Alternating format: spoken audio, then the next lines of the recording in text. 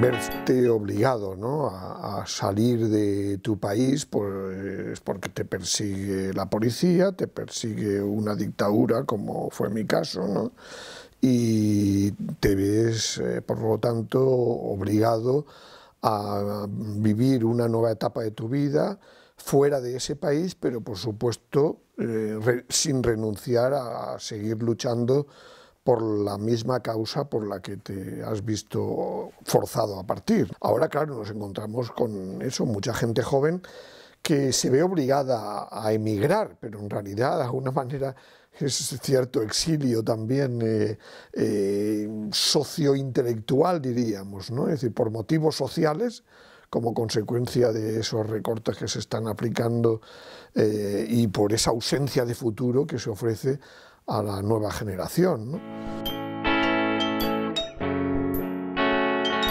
La universidad era precisamente una zona ¿eh? que tratamos de ir liberando frente a la dictadura con esas asambleas, con esas manifestaciones. ¿no? Por ejemplo, una de las eh, razones de mi exilio fue porque a raíz simplemente de haber presidido una, una, asamblea con unos cuantos estudiantes, pues luego a la salida pues fuimos a protestar como siempre, ¿no? pero claro, en el verano del 68 se había aprobado un decreto sobre bandidaje y terrorismo y el simple hecho de hacer una asamblea estudiantil y una manifestación era ya delito por tribunal militar. Ahora, claro, el gran problema es que el enemigo aparece más difuso, ¿no? Decir, no, no, aparece tan claro como entonces. Bueno, podemos hablar de la Troika, podemos hablar del gobierno de Rajoy o del régimen bipartidista, pero claro, no hay esa, esa confianza de que lleguemos a tener la fuerza suficiente para acabar con el régimen. ¿no? De alguna manera son luchas más defensivas que ofensivas como las que teníamos entonces. Las reformas que se han ido aplicando, en la universidad les obligan a, un sistema de evaluación continua permanente, a no perder ninguna clase. Eh, se ha fomentado, por supuesto, también el individualismo, el sálvese quien pueda.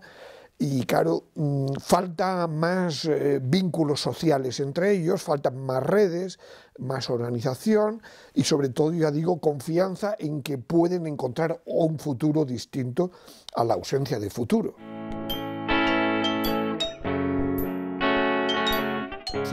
se temen es un pensamiento crítico, ¿no? Es decir, eso incluso en Ortega y Gasset, ¿no? Decía que evidentemente la universidad tenía que formar hegemonía, eh, pero claro, también tenía que transmitir saber, ¿no? Saber conocimiento, ¿no?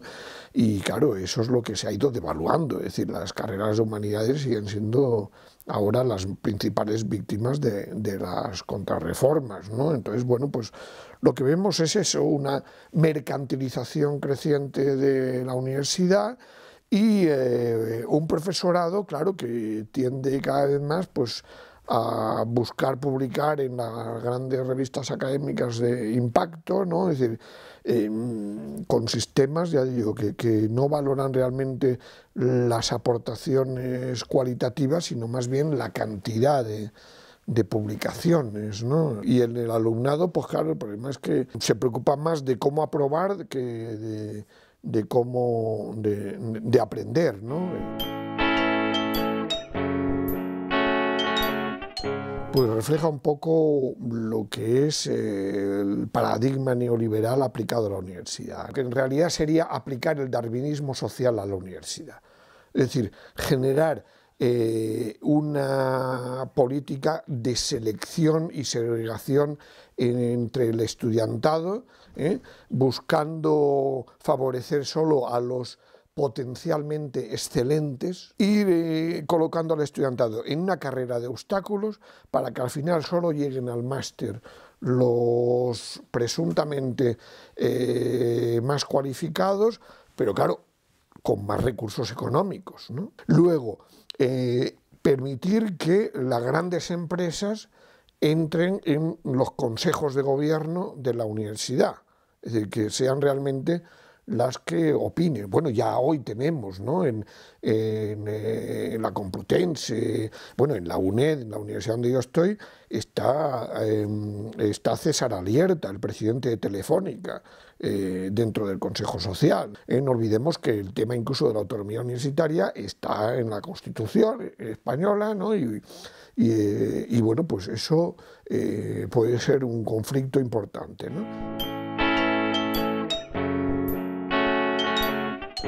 La democracia, entre comillas, llegó tarde y la crisis llegó enseguida. ¿no? Es decir, eh, que es lo que pasó también con los movimientos sociales. ¿no? Los movimientos sociales irrumpen en los últimos años de la dictadura, pero luego hay ese sistema partitocrático que se forma, esa cooptación de los movimientos sociales, ¿no? y entran en crisis prematura. ¿no? A pesar de eso, hemos vivido ciclos de movilización importantes. ¿no? después de la caída de la dictadura, no olvidemos que hubo una gran movilización contra la eh, permanencia en la OTAN, el del 88 al 94 también hubo grandes movilizaciones, mm, pero siempre ha habido una enorme distancia entre la gente organizada y eh, la mayoría de la juventud en este caso, pues que puede secundar una manifestación, una protesta, pero bueno, lo bueno precisamente del 15M fue que permitió eh, la irrupción de esa nueva generación al margen de partidos y sindicatos, es decir, al margen de lo que eran las estructuras organizadas. Es decir, porque claro, lo que nos encontramos es la crisis de las viejas organizaciones sociales y políticas, pero todavía la debilidad de las nuevas, ¿no? De las nuevas que tienen que ser más horizontales, más participativas, ¿no? ¿Eh? Eh, sin oligarquías internas, ¿no? y claro, eso está costando.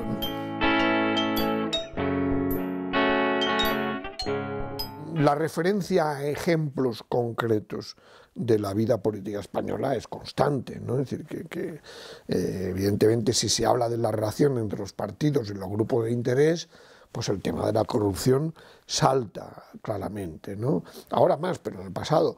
O si hablamos de movimientos sociales, desde que eh, irrumpió el 15M, pues te sacan el 15M, no lo estás pidiendo tú, ¿no? y yo creo que ahí, claro, la gran tarea nuestra es eh, evitar que se confunda la política con la corrupción. Reivindicar la política, pues eso, como la preocupación por los asuntos colectivos, ¿no? Por los problemas que tienen que ver con la vida en común de las gentes, ¿no? Y por lo tanto, pues claro, pues eh, hablar de la educación, hablar de la, de la sanidad, pues es eh, hablar de política, ¿no? Y dejar claro también que los actores de la política no son solo los partidos, son también los movimientos sociales, son eh, sindicatos de distinto tipo, son cualquier tipo de actividad eh, eh, pública ¿no? en, el mundo y bueno, evidentemente, claro, un aspecto que nosotros estamos obligados a tener cada vez más en cuenta es el espacio nuevo que se ha generado con las redes sociales.